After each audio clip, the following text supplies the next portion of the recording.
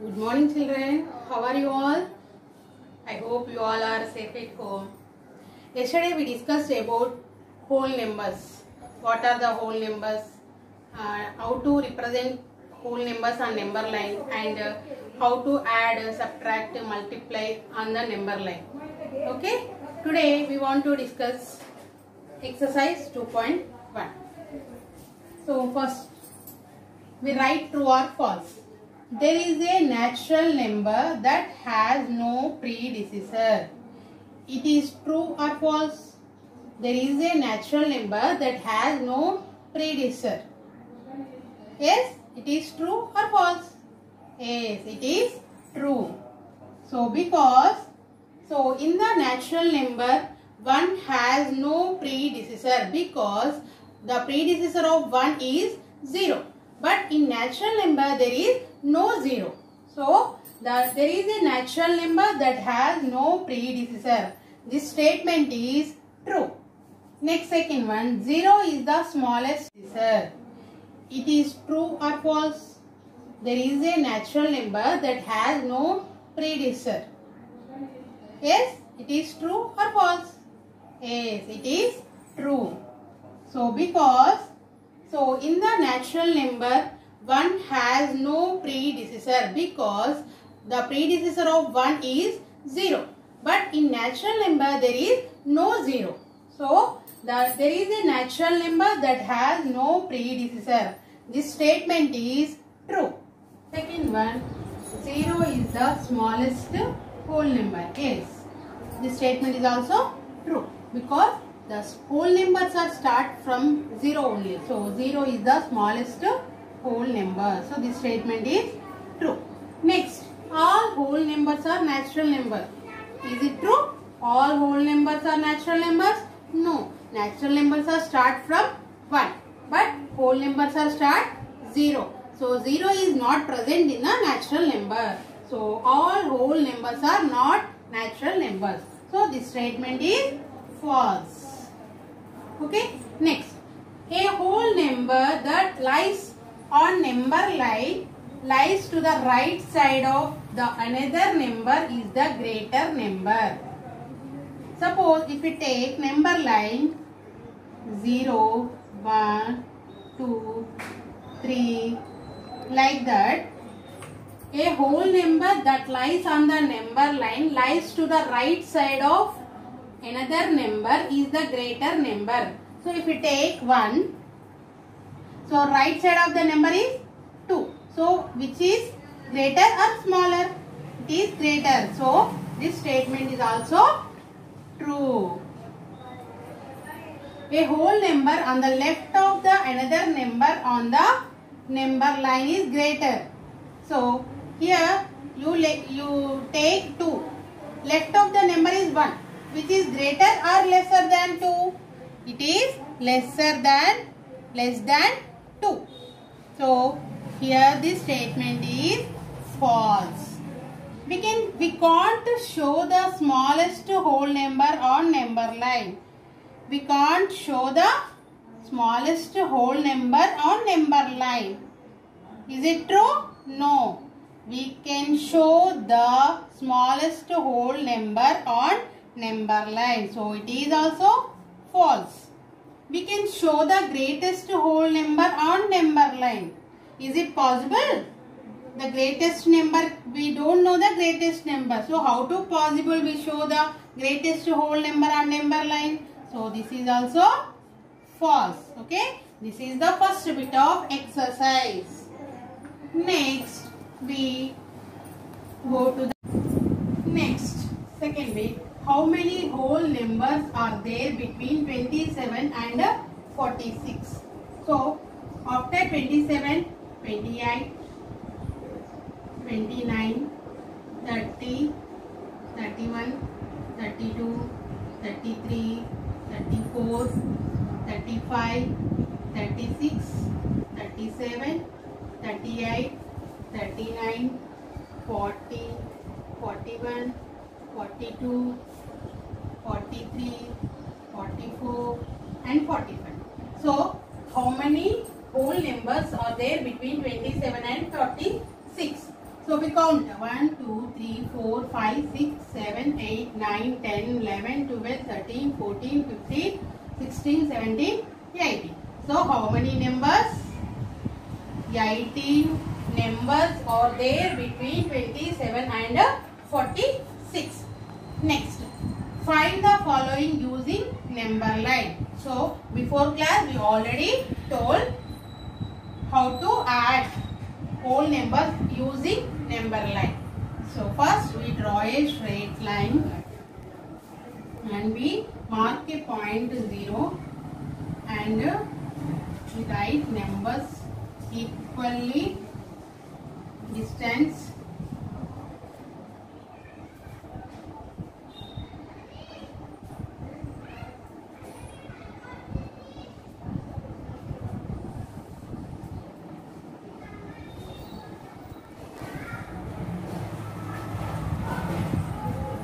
Okay, we take some distance only.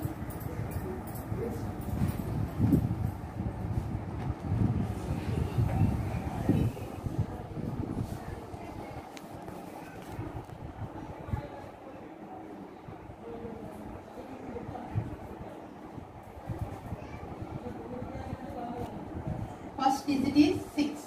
We take from, we start from 0 we come to 6 next plus 7 so how many steps we move to the right? 7 1 2 3 4 5 6 7 okay? Again add 7 so again we move to the 7 steps from right. 1 2 3 4 5 6 7 so is equal to what we get last 20 so like that we do the addition on number line. 18 minus 9 so we do subtraction using number line. So we draw number line first. 4 5 6, 7, 8, 9, 10, 11, 12, 13, 14, 15, 16, 17, 18, 19, 20. We take 20 whole numbers on the number line. So first 18 minus 9. First we jump to the 18. So start from 18 and we subtract 9 from 18.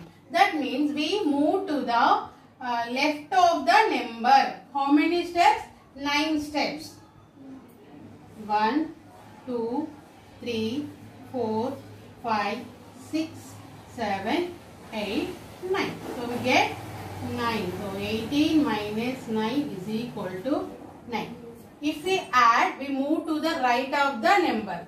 If we add, if we subtract, we move to the left of the number. So next is multiplication. 2, 3, 4, 5, 6, 7, 8, 9, 10, 11, 12, 13, 14, 15. Okay, we take 15 whole numbers on the number line. So 5 into 3. We move every time 5 steps, 5 digits and how many times here? 3 times. So 1, 2, 3. So we get 5 into 3 is equal to 50. So like this we have to do addition, subtraction, multiplication on number line. Okay children, do you understand how to add, subtract and multiply using number line? Okay. In this pair of whole numbers, which number comes right of the another number? Here 895 comes after 239. So 230 895 is right of 239 and here which one is greater one? This one is greatest one. So 10,001 is right of 1001 and in this problem also which is greatest one? So this one is greatest one. So this is the right of this number. Okay? Next mark the smallest whole number on number line. So what is the whole smallest whole number? Yes very good. 0 is the smallest whole number. So we mark whole number smallest whole number on number line. So 0 1 2 3 4 so this is the number line. And here 0 is the smallest whole number. Next next bit is put appropriate symbol less than greater than equal. We fill in the blank with the, these three symbols. So here 8 is greater than the 7 so we put here greater than symbol. 8 is greater than 7 so here also 5 is greater than 2 and here 0 is less than 1 0 is less than 1 here 10 is greater than 5 okay? So 10 is greater than 5 like this we have put appropriate symbols in these plans. Do you understand children what you learned in this class? So we learned exercise 2.1 problems. Okay children